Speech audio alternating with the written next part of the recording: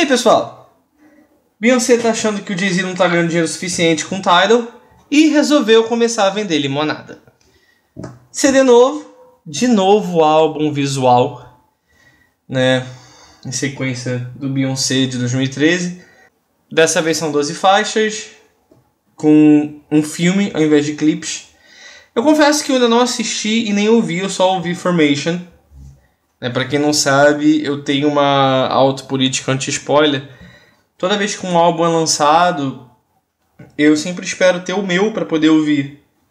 É, eu gosto de ter a experiência de comprar o original e escutar o original pela primeira vez. Então eu acabo esperando.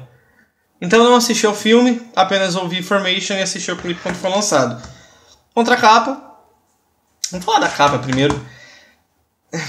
Né, gente? Alguém gostou dessa capa? Seja sincero. Gosto bacana porque realmente não tem nome dela em lugar nenhum. Nem na capa. Na lateral tá escrito só Lemonade. E aqui também tá escrito Lemonade aqui embaixo. Não tem o nome dela, que tá só novo álbum visual CD mais DVD. A gente não recebeu o selo de aviso aos pais. Mas aqui atrás tem censura 18 anos. Não por conta da música, mas por conta do filme. Detalhezinho tá escrito aqui do lado: formato de tela 16 por 9, opções de áudio 2.0 PCM e sem legendas. Né? Então você que entenda. Primeira tiragem com 40 mil cópias. Bem menos que o Beyoncé, por sinal. O Beyoncé foi lançado com 100 mil cópias na primeira tiragem. Aqui a gente tem as 12 faixas. Eu gostei muito da contracapa. Ficou muito boa, ficou muito bem organizada, ficou muito bem distribuída. E não tem menção ao conteúdo do DVD. Né? Só tem as 12 faixas aqui. Diz que vem com DVD aqui. Mas não explica por quê. Eu acho o preço dele um pouco salgado, ele está sendo vendido a R$ 59,90.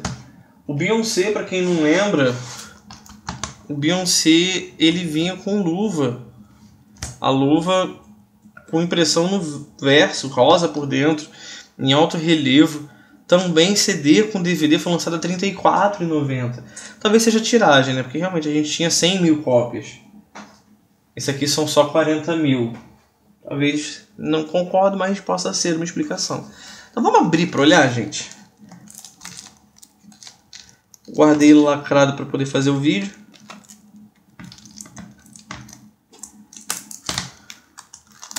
Aí para piorar, quando eu cheguei em casa meu celular não tinha bateria, tive que esperar ele carregar primeiro.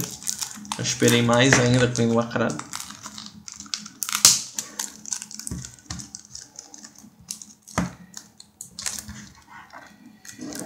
abrir CD é sempre uma emoção.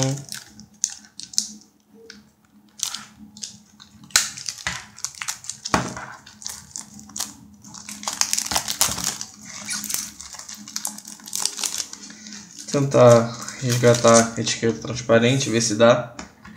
Mas por enquanto vamos olhar o que a gente tem aqui. Nossa. É, o disco representa limão, né? Só pode. dá pra ver melhor mais na câmera do que ao vivo, na verdade. Tá escrito álbum aqui.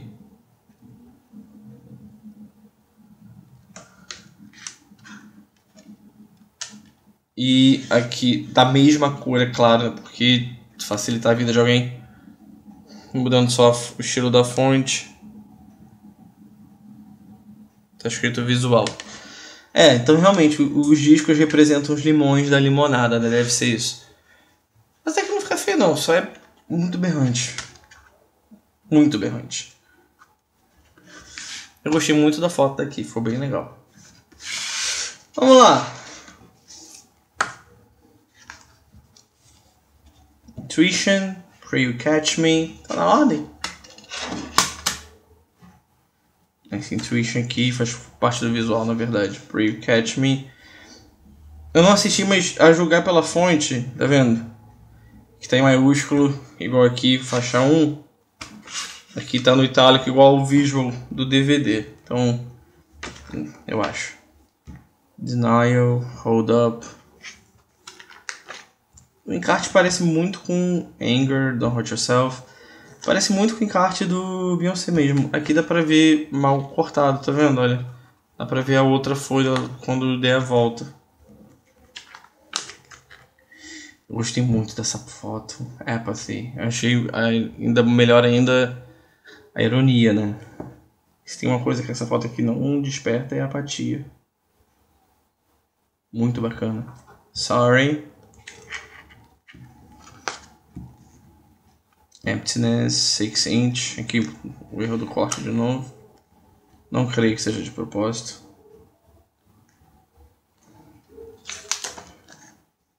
Accountability, Dead Lessons.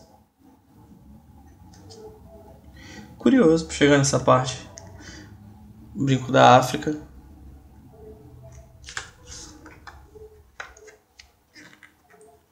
Reformation, Love Drought. Parece erro de corte mesmo aqui, a folha central, tá vendo?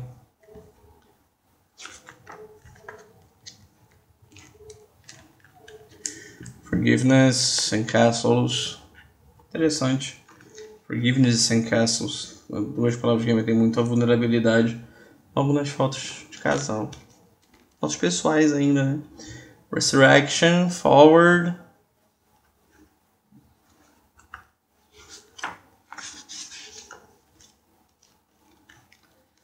Hope, Freedom.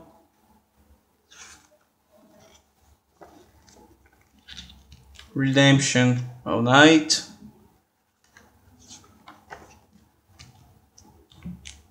Aqui não tem nada escrito. Formation, que foi a capa do single. Não foi? Acho que foi. Não. Eu vi essa foto aqui associada a Formation, mas não lembro se era a capa do single ou não. Acho que não. E aqui de novo não tem nada. Créditos aqui. E acabou. Hum, não estou vendo o nome da Cia. Será que ela fugiu? Ou oh, quer dizer. É só por alto. Até o fim devo encontrar alguma coisa. Bom, Visualmente falando, parece bem um álbum visual como o anterior, não tô vendo muita diferença, mas esse padrão de encarte eu observo nos álbuns dela, na verdade, desde a época do Four. Espero que as músicas sejam boas, eu ainda não ouvi. Espero também conseguir tirar a etiqueta que eu não tenho certeza se vai rolar.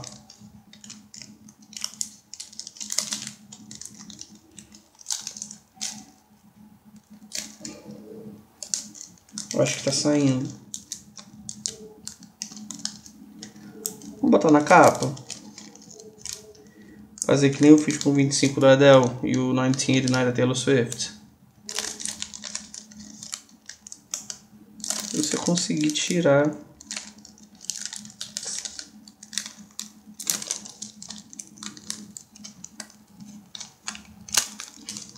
Vamos lá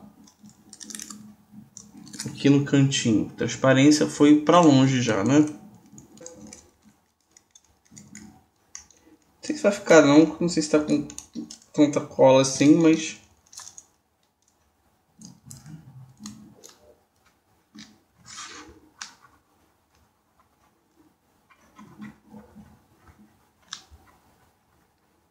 Ficou legalzinho, olha.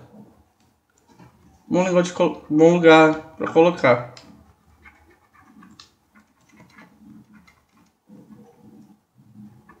Galera, isso aí. Lemonade, Beyoncé. Quer dizer, só Lemonade, que Beyoncé foi embora. O outro só tinha Beyoncé, não tinha título. Ele só tem título, não tem nome. Será que isso é parte 2 e aquele é parte 1? Um? Sei lá. Mas, é isso aí e tchau!